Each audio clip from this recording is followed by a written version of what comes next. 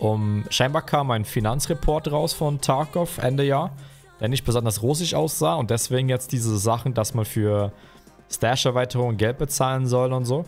Weil scheinbar braucht das Studio Geld. Wir gucken uns das gleich an. Der Finanzreport, den der Tarkov gekillt hat. Also eine Hommage an das letzte Video mit dem Wiggle Cheat. Easy.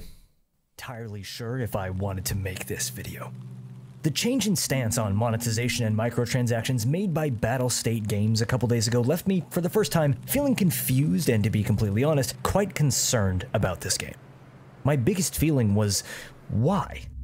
Well, I wanted to find out, and the research that I did over the last few days led me down paths that confused me and scared me, filled me with optimism, and ultimately left me feeling somewhat jaded, like the veneer on a shining facade had been ripped away, leaving the rusted steel skeleton wiring and insulation laid bare to the elements. These der Typ ist aber der richtige Geschichtenerzähler, ne? Also richtig wie früher die alten Krimis, weißt du? Es war eine dunkle Nacht, ich spaziere. It's important to understand why any of this matters. Since the start of development in 2016, BSG held a firm stance against the monetization models of their contemporaries. We uh, we know that free-to-play developers are constantly inventing new ways to trick people and make more money, and we personally do not want to spoil Escape from Tarkov with this. Every action and statement by the company over the last year also pointed not only to the stability of their funding, but that they were actually closer than ever to being completely finished with Tarkov as a product, that they were fully funded and pushing towards a 1.0 release. Ja, aber Leute, alle, die dabei sind, das Game ist in Entwicklung seit 2016. Dieses, diese Release-Story hören wir seit vier Jahren jetzt? Vier? Drei? Drei, vier Jahre? Eh. Reality supported, in no small part, by the removal of the most expensive limited edition of the game from the online store. To many of us, it felt like we were finally, finally closing in on the finish line. And then, seemingly out of nowhere, in the middle of otherwise innocuous patch notes, Tarkov's first microtransactions, namely extra stash lines regardless of game edition, ability to play offline co-op, and faster unlocks of cosmetic clothing. What changed? Here was this claim by the CEO of the company saying, in not so many words, that the game needed more funding. So, like, where did all the money go? How is BSG spending their money, and why? Well, that's what I wanted ich hoffe, er zeigt auch, wie viel die eingenommen haben. Financials, the answer was, well, it's honestly easier explained if we just look at it together.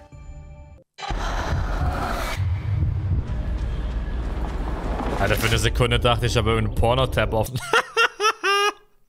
Was ist das für eine Werbung? First off, BSG's financials are more than a little weird. What matters is, because this is a UK-based company, their financial records are completely publicly available. Oh. So I took a look at them. Right das wusste ich nicht, dass du, du kannst die Finanzen von Battlestate öffentlich anschauen? Uh. Okay, was, was denkt ihr?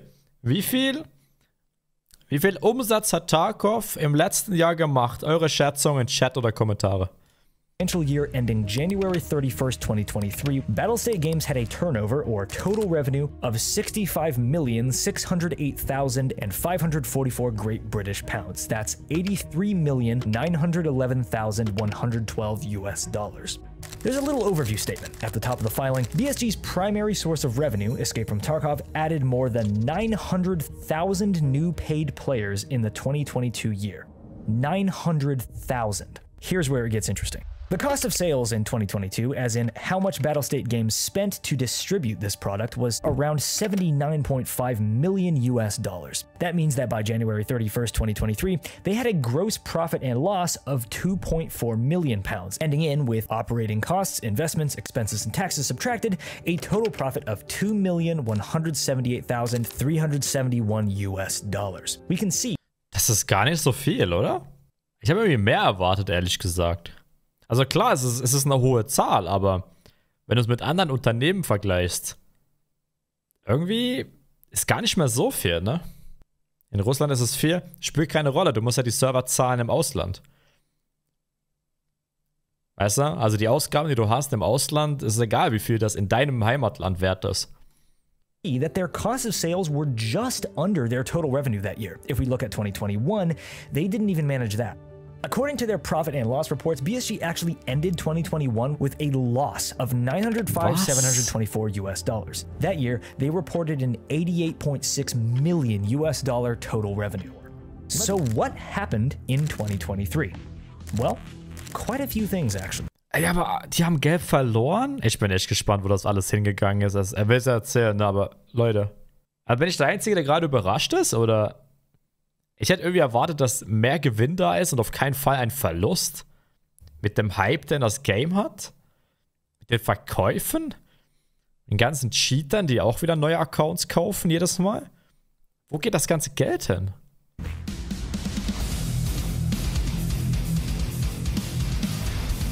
Ah, Meister Arena. I may have gotten a bit in over my head in this next bit, but the research that I did on the financials of games marketing was utterly eye opening to me. Last year was a special one for the world of Tarkov. We saw the biggest marketing push probably ever by Battlestate Games for the new spin off Escape from Tarkov Arena. Arena was meant to be a more fun focused, fast paced way for fans of EFT to get that juicy player versus player action they yearn for. It was um. also, and this is the point that you should be most focused on, it was also intended to be a beginner's jumping off point to the Tarkov world, bringing in new audiences to the game. Okay, so in order to market this thing, BSG went to some conventions last year. Some big conventions, totally bringing people into the Tarkov world. People could play Arena early. There were extravagant tournaments between streamers and the devs. It was quite the production, and it was a ton of fun to watch from the Ja, gut, sidelines. jetzt die Frage, was hat so das how much did it gekostet? Ja. While the actual metrics of the exhibitor floor space at TwitchCon aren't public, we can extrapolate a bit from other conventions. BSG's TwitchCon booth stole the show, a massive custom 40 by 70 or 2800 square foot monstrosity. A booth at South by Southwest at half that size would cost around $7,200 a day. That would mean, and this is being lenient, the arena booth would cost for its size for three days around $43,500. At GDC in 2017, a 2,500 square foot booth cost $41,500 a day. Times three days, a booth that size would cost $124,000. well, yeah, let's just get this straight. I'm not talking about the whole booth setup, all the bells and Das whistles. ist doch surreal, No, I mean eh? the price of the literal space it takes up on the floor. We don't know if the people working at the booth, the construction, etc., was part of the budget or if that was all BSG's responsibility. We do know that this booth was a completely custom design done by the convention planning contractor, The Trade Group, on quite short notice, by the way. If we assume a $100 per square foot price point, which would not surprise me at all, at the minimum, we're talking in the 100 to $200,000 range for this design. Again, I'm talking the lowest possible end here from what I've seen in my research. Okay, that's the physical booth. Then we have the PCs, the internet wired to each of these PCs, dozens of them, the IT to get all that working, headsets, monitors, peripherals. Again, this might have all been taken care of by sponsors, but just putting it out there. Top of that. If we put this all together, looking at the low end, I can't see them having spent less than 200 to $300,000 on TwitchCon. And that would have been if everything went right, if everything that could have been free was. If we're being more realistic, Aber das ist immer noch kein Problem, oder Leute? Like 200, 300.000. Du musst überlegen. Also hat er gesagt, 2 Millionen haben sie Gewinn gemacht. Gewinn. Ne? Also 300.000 pff, absolut machbar. Wenn Gamescom auch nochmal so viel, das erklärt immer noch nicht, wo das Geld hin ist. Aiming towards how expensive we know some of this stuff can be, well, we're creeping up on half a million dollars. Battlestate Games went to four conventions in Okay, 2023. never mind. So you might be thinking, as I definitely was, this is just marketing. This is what companies do. And yes, that is 100% correct. Major gaming companies do this all and much, much more on marketing. With the company supposedly bringing in upwards of 80 million US dollars a year, who even cares? Well, that's the issue. When I saw this massive marketing push from BSG over the 2023 year, it actually filled me with confidence. Good for them, I was thinking, because I assumed that they could afford it. Let's break down some realities here. Tarkov controversies aside, probably raked in a similar amount of money in 2023 as it did in 2022, likely a bit more with all the marketing that they did. We also know that Escape from Tarkov Arena, a completely separate game, was developed by BSG likely over the last one and a half to two years. That this standalone game was developed by a separate team of people, potentially many new hires and contractors, and that BSG underwent a massive marketing push for Arena during the 2023 year. Und ich mache jetzt hier mal eine Prediction. Also ich glaube irgendwie Arena. Ich glaube, sie haben erwartet, dass Arena viel, viel größer wird, als es wurde. Ich kann mir vorstellen, dass sie deutlich mehr Verkäufe erwartet haben. Weil Arena ist ja wirklich hart gefloppt. Ich glaube, die haben extrem viel in Arena investiert und jetzt ist es ein Riesenflop. Ich denke. Ja, das wäre so meine Prediction, ja. We now know that in early 2024, BSG has introduced the idea of purchasable add ons to Tarkov, never before mentioned, because, in the words of Nikita, the COO, the game has been running for eight years without any additional cash flow. So here's my concern, and maybe you're picking up where I'm going with this. The fear is that BSG's funding for the completion of Escape from Tarkov, as well as the continued development for Arena, was secured only by the projected profits earned from Arena's sales, boosted by the marketing push over the 2023 yeah. year. And I'm concerned that Arena may not have sold as well as they had projected. There we go. For whatever reason, maybe because of controversy, maybe because of poor communication by BSG, or maybe because of the game's design itself, people don't seem to be utterly enamored with Arena in the way that BSG was hoping, to put it lightly. Aber sind wir mal ehrlich, also das hatte ich auch die Diskussion vor ein paar Tagen. Das Problem in, in meinen Augen zu was ist Arena? Es, es, es hat einfach, es hat keine Identität, dieses Game. Was ist denn Arena, Leute, weißt du? Was ist Arena? Sie sagen, sie wollen ein fast-paced, lustiges Spiel machen. Es ist aber nicht schnell. Ich meine, Tag of Movement ist nicht unbedingt schnell, also da kannst du eher COD spielen. Sie wollen es competitive machen, aber der Game-Modus ist Team Deathmatch ohne irgendwelche Competitiveness. Du hast Kids, die unbalanced sind, random Heal.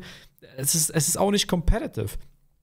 Also, du, du, hast auch keinen schnellen Respawn. Also, was genau versucht Arena zu sein? Weißt du, es ist nicht, es ist nicht fast-paced, COD-like, einfach ein bisschen Spaß haben mit den Jungs. Es ist nicht competitive. Äh, was genau? Welche Identität hat ta dieses Tag of Arena, weißt du? Ich denke, das ist das Problem. Dieses Game hat einfach nichts, was es irgendwie besonders macht. No matter how many fireworks you set off, no matter how many tournaments you plan, if people look up a game online and the first thing that they see is this game is disappointing, they might think twice about buying it.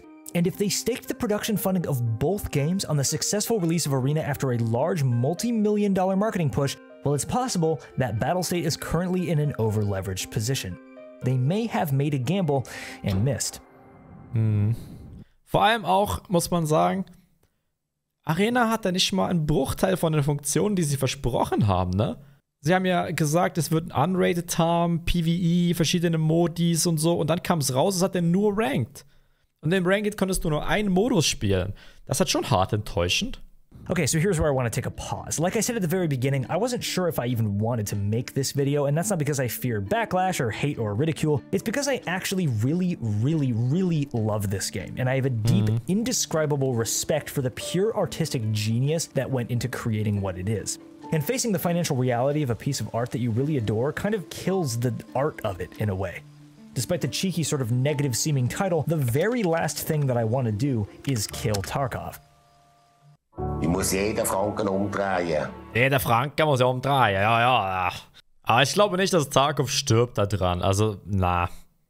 Glaube ich nicht. Vielleicht wird es einfach irgendwie finanziell, müssen sie ein bisschen enger schnüren oder was für, für ein Jahr, weil Arena so ein Flop war.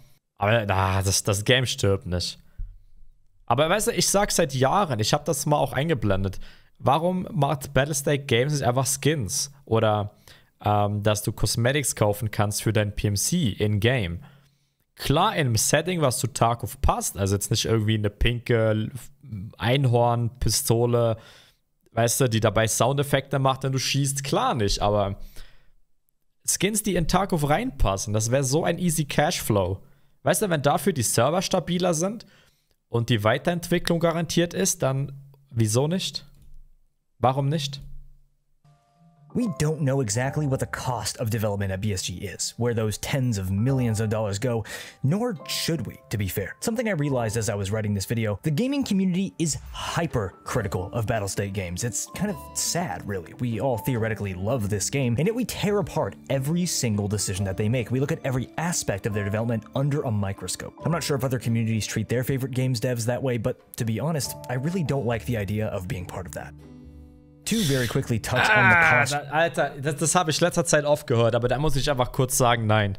Also, ich finde, die Tarkov-Community ist, Teil ist es kritisch, aber der Großteil ist sehr, sehr, sehr, sehr geduldig gegenüber BSG. wir sprechen Kritik aus, aber das war's dann auch. Weißt du? Weil, sind wir ehrlich, guck mal, was BSG uns versprochen hat im Punkto Arena. Mit Unrated, mit PvE, verschiedenen Modis, mit Verbindung zum Base Game. All das versprochen. Und dann kam der Release, es war ein Game-Modus drin. Unbalanced Kids, das Game war nicht ready, es hatte haufenweise Bugs. Äh, weißt du, also, wenn du, vergleichen wir EA, ne? Vergleichen wir EA. Wenn die versprechen, zum Beispiel jetzt, ähm, was ist Skull and Bones? Viel versprochen, nichts geliefert, das Internet zerreißt die gerade. Zu Recht. Also ich finde nicht, dass BSG irgendwie mehr Kritik abkriegt als andere Studios, weil sie verkacken es auch ziemlich oft, muss man einfach sagen. Also weißt du, ein Wipe, wo dann einfach eine Woche lang nicht spielen kannst, weil die Server am Arsch sind, wenn du das bei anderen Studios anschaust, da sind auch die Schlagzeilen voll mit, das geht nicht, Jungs, weißt du? Also ich finde nicht, dass man überkritisch ist gegenüber BSG, weil sie bauen manchmal auch einfach ein bisschen scheiße. Das Game ist geil und ich freue mich drauf, wie es weitergeht und alles. Also sie machen es an sich auf lange Sicht gut, aber es ist immer wieder, hat es so kurze Momente, wo man sich einfach fragt, was zur Hölle ist euch da durch den Kopf gegangen? ja, das, was Tom sagt. Zwei Monate lang war ein Flashlight-Bug im Game. Ein Game-Breaking-Bug, der dich im Grunde gekillt hat, wenn du eine Flashlight benutzt hast. Das hat zwei Monate gedauert, das zu fixen. In welchem anderen Studio dauert das denn zwei Monate? Also, ich finde, manchmal ist Kritik bei BSG schon angebracht. Aber ich finde auch, es hält sich in Grenzen. Also, die Leute shit-talken shit zwar unter jedem Tweet und so, aber am Ende des Tages zocken wir das Game, machen Videos drüber und haben Spaß. Weißt du, was ich meine? Also, ja, ich finde nicht, dass wir irgendwie die kritischste Community von allen sind, aber. Though, think about this one metric. Tarkov is running 5,000 or more servers, according to Nikita. For a minimum of 100 to $300 a month per server, that's anywhere from 6 to as high as 18 to $30 million a year alone. The main concern I had, remember, is that Tarkov's cost of sales went up drastically in 2023, and the sales themselves didn't compensate. We need to touch on those 900,000 new accounts purchased in 2022. I've never given much thought to the idea of cheaters rebuying accounts as a legitimate major source of Tarkov's funding. Seeing that metric was the first time that I had to face it head on. If the concern is that cheaters are funding the game, something that, regardless of how things look, can never be officially proven, we know that anti cheat is a constant concern of the legit player base, something that we all want to get better. But would not placing the spending power back in the hands of the dedicated, legitimate fanbase through microtransactions in whatever form potentially reduce the power that these cheat providers hold in general over BSG, even if it means BSG going back on their word, which is the lesser of two evils? I'll let you decide, but I think the choice is obvious. Das habe ich jetzt nicht verstanden. Inwiefern sollten Microtransactions helfen, Cheater zu reduzieren, hä? Aha, ah, das ist angenommen, BSG vertraut auf das Cheater-Problem, um so Geld zu machen. Okay, jetzt verstehe ich's. Und er meint damit, dass wenn Microtransactions reinkommen, hat BSG einen anderen Geldfluss und kann sozusagen stärker gegen Cheater vorgehen, ohne dass sie Geld verlieren und Angst haben müssen, das Game nicht weiterentwickeln zu können. Okay. Ich finde halt, ich muss halt ehrlich sagen, eben dem Punkt wieder ist etwas, wo ich Kritik über seit Jahren gegenüber ähm, Nikita. Ich weiß, er hat mal gesagt, er will keine Microtransactions. Und ich sage, seit Jahren sage ich schon, mach doch endlich einfach Skins rein. Dann habt ihr einen konstanten Geldfluss. Weil es passt wenig zusammen. Zum einen sagt er, nee, wir wollen keine Microtransactions. Alter, solange die nur Cosmetics sind, who gives a shit? Interessiert niemanden. So, mach doch irgendwie so ein bisschen eben so Camo-Skins rein, die man kaufen kann. Es wird, es, es wird niemanden schaden, bis auf ein paar wenige, die halt irgendwie, keine Ahnung, alles ein bisschen zu ernst nehmen. Aber wenn das Geld reinbringt für BSG und sie damit Cheater besser bekämpfen können und bessere Server und schnellere Entwicklung, dann, mein Gott, ja, bitte. Da ist doch egal, ob du vor sechs Jahren mal behauptet hast, du willst das nicht, weißt du? Stell dir vor, also ich habe auch, ey, ich habe meine Meinung auch mehrfach geändert, weil so funktioniert das Leben. Du bist mal einer Meinung, sagst was, dann erlebst du die Jahre, die kommen und merkst, ja, vielleicht war die Entscheidung damals nicht die beste. Und dann kann man, kann man sich nochmal überlegen. Aber dieses sture, ne, ich habe vor sechs Jahren was gesagt, ich muss mich dran halten, so, äh, äh, und dafür das Game an die Wand fahren, äh. Muss nicht sein. means BSG going back on their word, which is the lesser of two evils. I'll let you decide, but I think the choice is obvious. Ja, irgendwann haben auch alle At the Leute end of the day, what Also, matters most is that the core tone and vision of the game itself is upheld in one way or another. Its dark and foreboding atmosphere, its deep, brutally challenging and rewarding grind, those things make the game what it is. As long as that remains the case, we'll be okay. Because here's the thing, truly, and I do say this wholeheartedly, what's done is done. If we want the game to succeed, to exist, Nikita has done, I think, the best he can right now. Regardless of how BSG got to where it's currently at, he personally admitted that the game needs more funding. If that is an honest statement on his part, then what else can they do? The choice is fund the game or let it die. If they're re- und ich finde auch, was er gerade gesagt hat, äh, bin ich 100% dahinter. Eben, Tarkov macht viele Entscheidungen, hinter denen ich nicht stehe. Auch das neue Armor-System, ich bin kein Fan davon. Aber im, im Großen und Ganzen, wenn man es anschaut, über die letzten sechs Jahre ist das Spiel immer in eine gute Richtung gegangen. Weißt du, es nimmt manchmal so eben ein paar Kurven, wo, wo die Community sich dann so fragt, so, äh, PSG, what the, what the fuck? Aber so im Großen und Ganzen denke ich, auf lange Sicht gesehen, geht es in eine sehr, sehr gute Richtung. Und ich hoffe, es geht weiter in eine gute Richtung. At the end of the day, I, and I'm sure many people over the last better part of a decade, just want to see what a finished version of this game will look like. I'm sure that Nikita and the rest of the team would like that too. If getting to that point means that we wait a bit longer or that people buy a cosmetic add on here or there, I guess that's just something I might have to learn to be okay with. Thanks for watching. Warum? Also erstmal richtig starkes Video von Riloe Gaming. Ich kannte den gar nicht bis zu dem Punkt. Richtig starkes Video. Aber ich bin auch der Meinung, also, wo ist denn das Problem mit ein bisschen Cosmetics? Weißt du, und, und auch jetzt die Stash rein. Ey, die Leute sind so steil gegangen. Warum?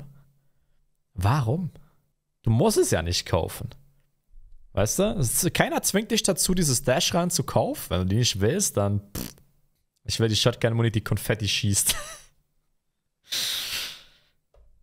Eben genau nicht. Aber ja, was ist eure Meinung dazu? Ich denke nicht, dass Tarkov sterben wird. Es könnte sein, dass sie finanziell ein bisschen ähm, holpern gerade und deswegen das machen, aber da müssen sie einfach was finden, was langfristig Geld reinbringt, wie Skins. Und Arena müssen sie nochmal drüber, ey. Arena, es, es ist es einfach nicht. So wie Arena aktuell ist, es ist einfach, es, äh, nein, es ist es nicht.